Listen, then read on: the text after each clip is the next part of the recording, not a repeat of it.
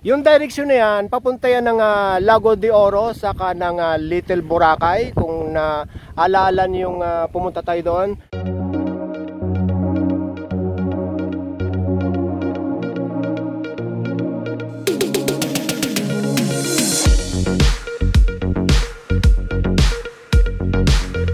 Tapos ito naman yung area papunta ng ah, ah, Cave Santiago sa Lighthouse. Kung matatandaan nyo rin, banda doon yun. Ayun, nakikita, Ah, nakikita mo? Ayun, oh, nasa dulo na yan yung may puti. At talaga, masusumin kaya? Tina. Masusumin yan.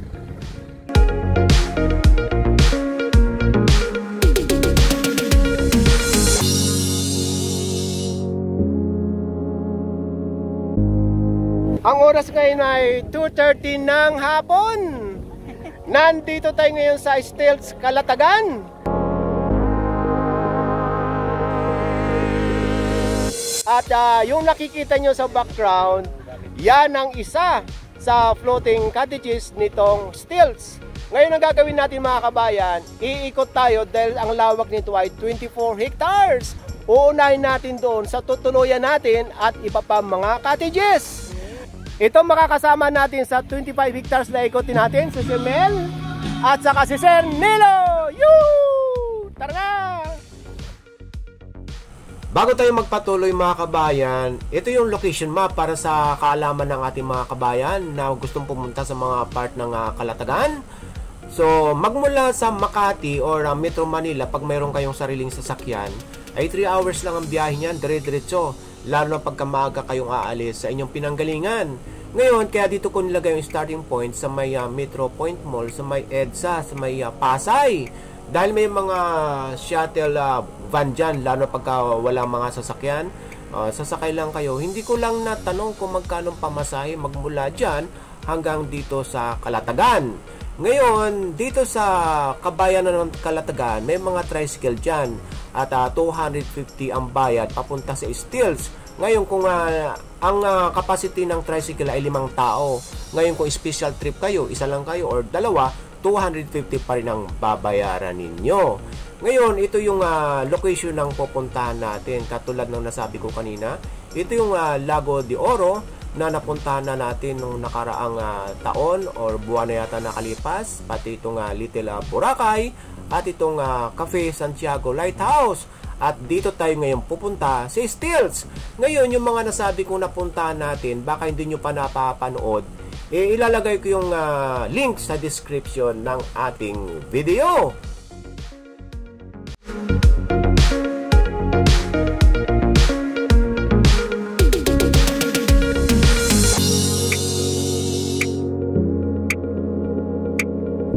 Ayan na, ito, na? Oo. Stills? Oh, Oh. no, no reservation, No entry. no entry. Kapasak pala siya. Oo. For 800 meters. Oo. Wala pang, ah, wala nang isang kilometro. Ay, ito na. Nasa gate na tayo. Ha? Yan na. Ito ba pinaka-gate? Aha. Ah, ito. Hmm. Ang ganda ng gate nila. Oo. ano? Oh, may halo-halo pa. Skills. Kung anong su ah, sundalo yung ano? Akala ko. Sundalo. Security guard. Basta sundan nyo na po itong malaking kalsada. Kanan, Pag sa- kanan. Kahit po sabihin ni Google na kumanan, wag po kayo makanan. Ay, patayin ko na si Google. Kaliwa lang, kaliwa. Basta, sundan nyo lang po ito. May Salam. access po doon. Salamat, salamat, salamat, salamat. 200 meters, turn right. Nako, Siri, sabi ng ah, men in uniform doon, eh, wa- wag ka raw namin sundin. Makulit lang. Oo, ay dire-diretso lang tayo itong kalsada mga kabayan at mga, may mag-assist. Ayan ang dagat. Nasa Oh, kaliwa. Grabe, ang ganda dito.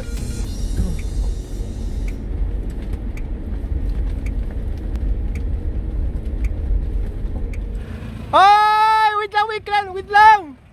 Oh, habol. Magkano pa masahe kang Quiapo? Ngiti lang sir, pwede na. Ha? Ngiti lang po, pwede na. Ngiti lang, pwede na. Ini- ini- iniwan ako ng ali. okay, tara. Dali mo kami sa Quiapo. Doon sa Passion. Sama na kayo dahil magtutour tayo maghapon ha. Sa una nating video. Dito sa Estels Resort, Calatagan, Batangas. Yay! Pwede ba ako magmaneho? Pwede? Dahil tutuloy ko doon sa beach, oh, yun! oh, sige, papunta tayo sa cottage natin mga kabayan ha. Ayun. Tapos mamaya hakotin natin yung ating mga gamit. Papahakot natin dito sa service natin. ito naman yung mga cottage na ito, itong ah, Harmony Beach na kung saan dito karamihan yung mga detour. Tapos ang ah, rent dito 1,000 to yung cottage. Tapos pag detour kayo ah 700 Tama, 700 Per head. 700 per head. Ito naman yung ah, activity center na kung saan dito yung malalaman yung mga presyo ng mga water activities. Diyan sa lugar na yan, pupunta. Souvenir shop, pupunta natin lahat yung mamaya. Kaya sama lang kayo ha. Hanggang dito yung mga cottages ng uh, detour. Pwede dito lahat ng event mga kabayan ha. Katulad nyo no. Ayun. Ay, ayun, yun, yun, oh, may, may event na doon. Ang saya dito. Tapos doon yung ano natin, yung cottage natin. Kasi mga kabayan, dapat pag nagbubo kayo dito, eh, one month or two months before. Dahil punuan. Lalo na pagka, maski na weekdays mga kabayan, punuan dito. Lalo pag weekends. Ang kaibahan lang, pagka weekdays, kukunti ang tour. Pagka weekends, marami nagtutour. So dito na tayo sa area natin. Magmula doon sa front desk, dahil doon naman kayo ihahatid pagdating nyo dito, mayroong sariling parking yung ating cottage. So, ang nakuha natin mga kabayan, ano ha, hindi yung ah, still sa floating cottages. At saka dalawa lang tayo ay for family nyo, di ba? For family yan, di ba? Ila- Paul po. Yung room nyo na Passion. okay po ngayon. Yung ano, yung floating cottage, ilang bang faction? An- ano po, tatlong sizes po yun sir. May large tayo, medium, and small. So, ilan ang pinakamarami? Yung large po, minimum of 7 person. 7 person. Pero Yung can accommodate po yun, maximum of 20. Yung 20. yung Oh. large cottage po. Magkano yon yung ah, large cottage? Yun po ay 18,000, minimum of 7. Tapos in excess of 7 po, additional ng 1,300 per head sa extra person po. Ito yung mga cottages at ito yung passion. Oh! Ay, ay ang ganda. Ang lamig. Ang ganda. Ang cute!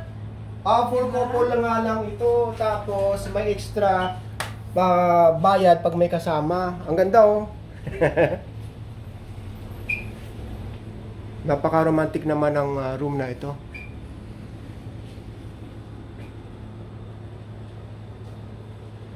So mayroon ding ah, ito kompleto na pala eh. May ref. Ah, wala pang laman. Tayo mo lalagay. Tayo maglalagay. Okay, tapos yung ah, CR. Ah, ito. Sa mag-ilaw. Oh, ayan. Meron namang ah, table para kung gusto niyo mag-laptop. Ang presyo nito mga kabayan, 6,050 per night. Tapos, mamaya doon sa pupuntahan nating uh, Stilts Floating Cottages, malalaman natin ang mga presyo. Pupuntahan natin after this. Magmula dyan sa cottage natin, ito yung pinakamalapit na pool. At ah, ito yung pinakamalaki. Dito nga pala mga kabayan, makikita nyo sa kanilang website, kailangan, bago kayo maligo, naka-proper attire kayo ha.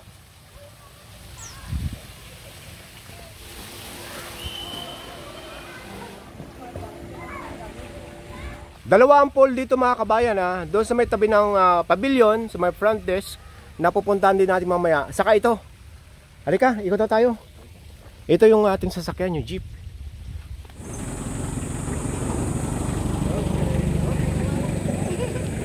Magkano nga ba ang bayad sa detour, Sir Mel? 700 per head sir. 700 per, per head. Anong oras ang detour? From 7 to 6 p.m. po.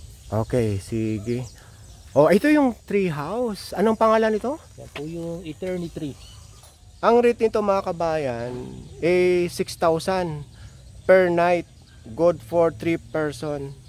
So, ayun ang pangalan niya, Eternity. Oh, off limit tayo mga kabayan dahil may guest. So, bali dalawa ito.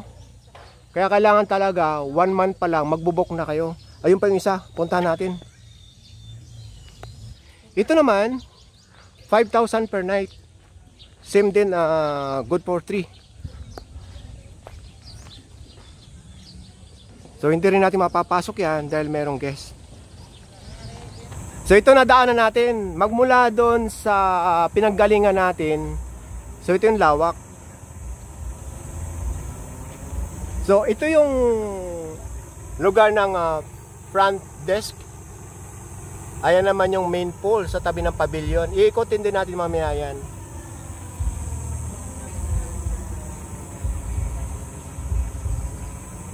So andito tayo sa lugar na ito. Ayan sa Passion. Tapos ito yung huli nating pupuntahan. Ayan. Yung mga floating cottages na yan.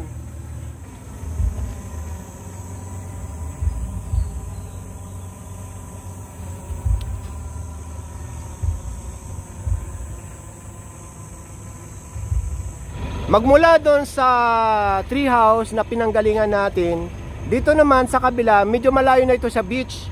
Ito namang simplicity. Ah, room accommodation din ito, good for 3, 6,000 per night din. Ayan, parang duplex siya.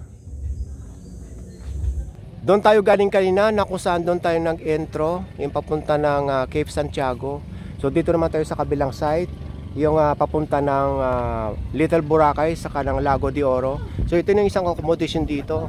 Bali, 3 rooms ito, magkakatabi.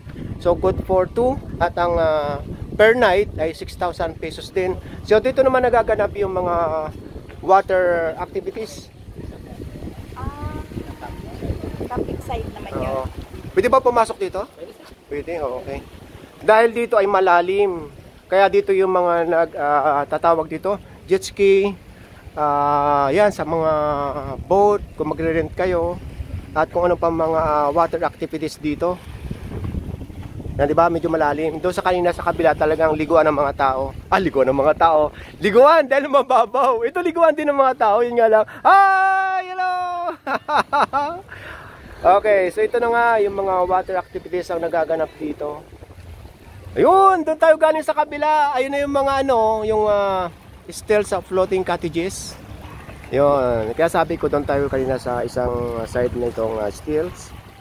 Oh, ayan. Yan ang huli natin pupuntahan.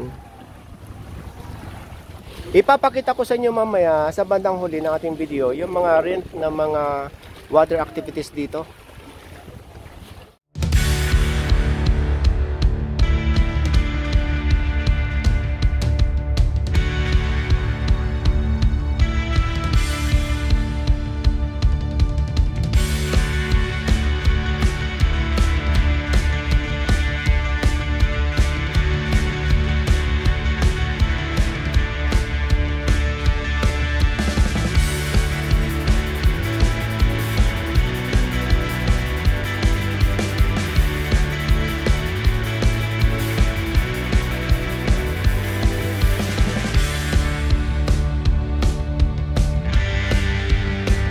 Maganda yung buhangin, oh. Pinong-pino. Tapos dito mga kabayan, wala masyado activity sa gabi dahil nga ayaw nila ng maingay. Ayan yung ah, mga rates na mga activities dito. Papasukin natin mamaya. Pasadahan natin itong mga cottages. Doon tayo galing kanina sa sinabi kong ah, mga water activities. Pag nagbayad kayo dito sa uh, activities area, doon kayo dadalhin kung gusto nyong ah, mamangka or mag-jet ski. So ang ganda, ang daming naliligo. Tapos itong pinakamaganda, ayan oh. Ayan na yung uh, stills floating cottages. So ang mga room rates niya mga kabayan, from 9,000 to ah, 18,000 yung pinakamalaki. Tapos yung pinakamalaki, syempre hanggang ah, 15 na person ang pwedeng matulog dyan ha. Yung presyong sinabi ko per night. So kailangan mga 1 month or 2 months mag-book na kayo dyan. Kasi walo lang yata yan eh. So ito na yung ah, activity center na kung gusto niyo magpa or mag ah, avail ng water sports. Ano? Tingnan natin yung mga rates. Ito po, sir. Ito po yung ating mga water activities. Then, meron din po tayong ATV, sir. Okay. Saan yung area ng ATV? Yung ATV po natin, malapit po doon sa first main gate po. May ATV station sir tayo. Then after po ng briefing and practice, may trail po tayong pupuntahan. Okay.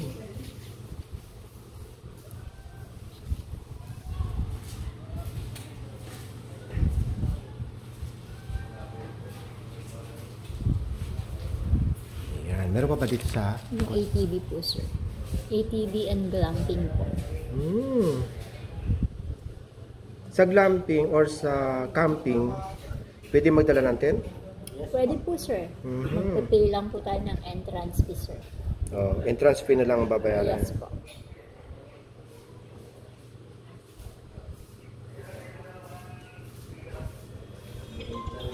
So, anong oras ang activities dito? Magmula anong oras? From 8 to 5 po sir. 8 a.m. hanggang 5 p.m. Po. Thank you din po. Ito yung Harmony Beach na kung saan doon tayo nakatayo kayo na. Harmony Beach pala ang tawag dito. Na kung saan doon tayo kayo na sa may activity area. Ito na oh, lapit na natin. oh.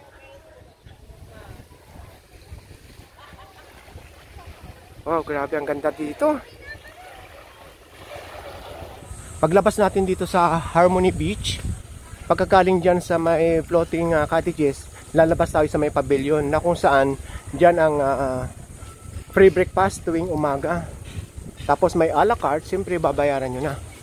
So yung free breakfast dito nagaganap. So tama ako. Pwede ba bumaba dito? Ah, talaga? Ito yung mga names ng cottages. Sa Ah. cottage. Ito yung mga name ng mga floating cottages. Tama, tumama ako, walo nga. Dahil doon sa website nila, walo ang nakalagay nitong ah, floating cottages. Ay marami naman pala nakakapasok para lang magpa-picture. Ah, Bukana lang. Ah, hanggang dito lang pala sa Bukana. So hanggang dito lang tayo, Sir Mel. Pwede sa pathway lang. Ah, patwi lang. Sige, yay! Makakapasok tayo hanggang doon, no? Tapos kung dito kayo makakabilang accommodation, pagbaba nyo dyan sa cottage, ayun na, tubig na, oh. Di ba?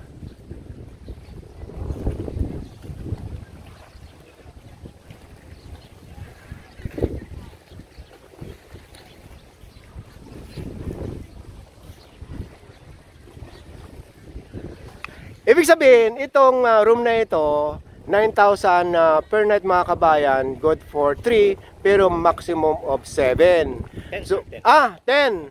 Ngayon, kung halimbawa magsishare naman kayo, kayang-kaya. Tapos, kung halimbawa, minimum of 3 yan, yung 9,000 na per night, tapos yung additional naman ay 1,003, tama ba? Per person.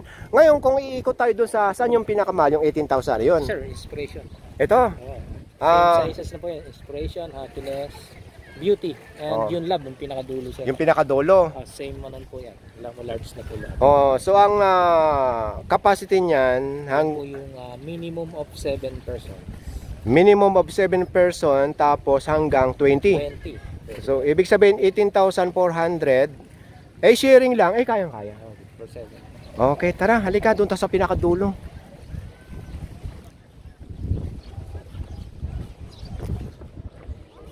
So ito yung pinakadulo. So doon tayo galing. Ngayon kung magpapabook kayo mga kabayan, one month uh, before or two months, ito kunin itong happiness. Tapos, ah yung love. Ito yung ah, beauty. Dahil hanggang dito lang tayo, may gate na. Ano nga ba pangalan nyo, Sir Mel? Ah, yung peace. O, ayun. Yan naman kukunin nyo mga bandang dulo. Ngayon, kung galing kayo ng Manila or ng Makati, dyan kayo ituturo. Dahil yan ang parking area bago kayo makarating dito sa front desk.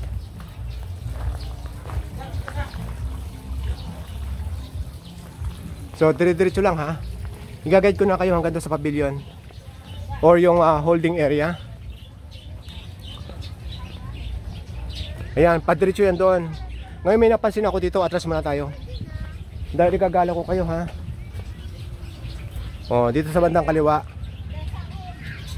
Pwede kayo magpa-picture dito. Hi! Hello! Oh, ayaw mo mapakita ha? Oh, yung mga tiga front desk na nakausap natin.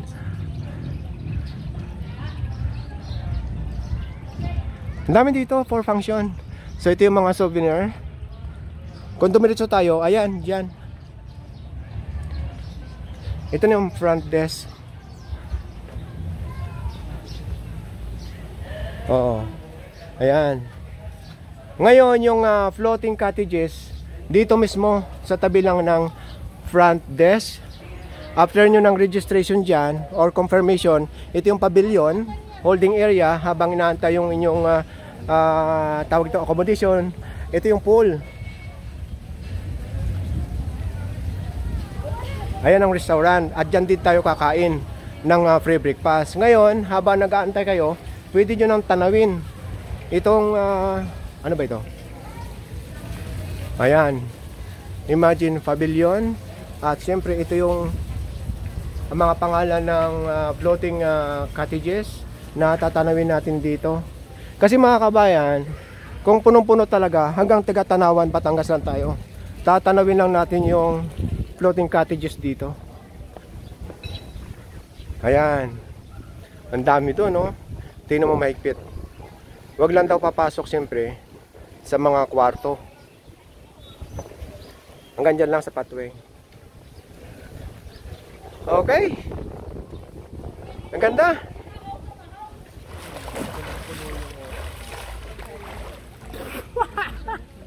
Dito sa gilid ng pool, pwede kayong mag-order ng beer, pagkain.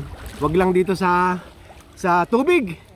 Tapos yung mga day tour, maganda naman pala ang day tour eh. Ah, 700 per per per head. Tapos pwede kayong magdala ng pagkain. La, mas ng pagkain o heavy meal, yun nga lang. Oh, may corn curds na ano, na 200 pesos per head. Tapos kung halimbawa mag-overnight stay naman kayo dito, pwede magdala ng tubig, chips, basta uh, hindi lang heavy meal, pipede. Tapos, kompleto naman doon sa loob ng cottage, mayroong dispenser, kettle, yung halimbawa gusto nyo magkape sa umaga, mayroon doon. So, walang charge yun. Palubog na yung araw, oh. Tingnan mo. Oh, kita kita dito. Dito ka lang. Punta, punta ko doon, titingnan ko yung paglubog ng araw. Woo, woo, woo, woo.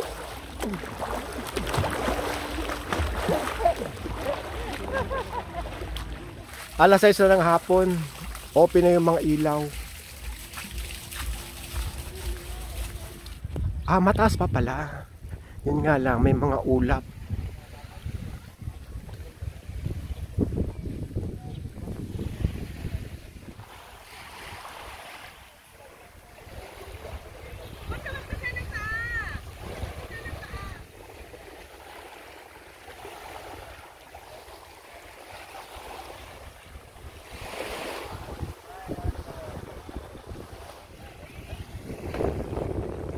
Mainit yung tubig eh. Hin- Hindi mainit, warm. Warm. Hindi ko lang ulam kung sa init ng araw o talagang may hot spring dito. Sa init ng araw. Oo, walang- malalaman natin bukas pag lumublob tayo dito kung malamig. Tapos, pagkagaling nyo sa pool or sa beach, ayan, may sariling ah, panghugas dito. Mal- malinis nga naman pag pumasok sa room. Oh, yan. Wala nang naliligo sa ano, sa sa beach. Kasi nga hanggang ah, 6 PM lang. Tapos mga kabayan, pag halimbawa sa dinner at nandito na kayo sa room ninyo, pwede kayong magpa room service ng mga food.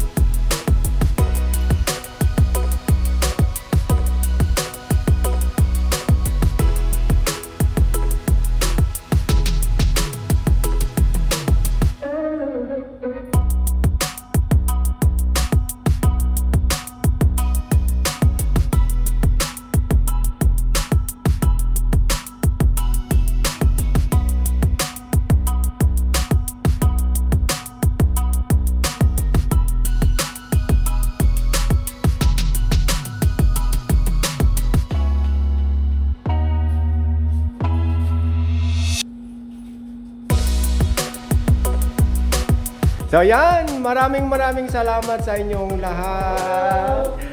Shout out sa inyo. Yay! Bye! Maganda dito mga kabayan. Maski malayo sa ano sa metro, Ay, sulit. hindi talagang fully book lahat maski weekends and weekdays. Ah, ano lahat dito kasama na yung mga floating ah, cottages ay 20 rooms lahat. May kanya-kanyang presyo. Tapos yung ah, kanilang ah, service naman ay maganda tapos lalo sa gabi. Ay, super babait ng mga ano. Mm-mm. Alam mo yung mga Batanggenyo. Ah, oo nga, madami niya. Ay, lahat Diba? kababayan mo lahat dito. Yes! Oh. Tapos yun na nga, ah, sa gabi, siyempre malamok kung lalabas kayo, mayroon naman silang sa labas ng mga cottages, mayroon silang ano tawag doon, mosquito trap. Mhm. Ah, siyempre sa loob wala. Ay, malinis. Oo, malinis. Ngayon, pwede rin yung ah, ano dito, ah, pet friendly. Ay, yun naman, talaga Mm, lang. Walang limit ang laki. Tapos, ah, pwedeng ipasok sa cottage, wag lang patutulugin sa kama. Mhm. At ah, pagliliguan, doon lang liliguan sa wala masyadong naliligong tao. Sa dagat yun. Mm, Pero sa pool, bawal po. Mm-mm. Ngayon, mayroon ding ah, CCTV bawat ah, room. Mhm. At ano pa ba ang ating ah, ayun naman, maganda. Basta ako nag-enjoy sa food. Ah!